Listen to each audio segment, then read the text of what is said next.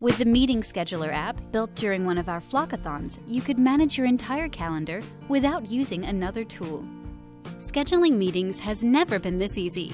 Just fill in the agenda, the venue, and other relevant details. You could invite everyone from the chat group automatically or select participants individually. You could even give multiple time slot options for the meeting. Once done, just click Submit. The meeting scheduler bot sends the meeting details to all participants, asking them to choose their preferred time slot. The organizer can then finalize the time slot depending on what works for everyone. Well, 9 o'clock sounds good. What's more, you could easily view your entire calendar with a single click, or even have the bot help you with routine tasks like viewing the details of your next meeting or canceling it altogether.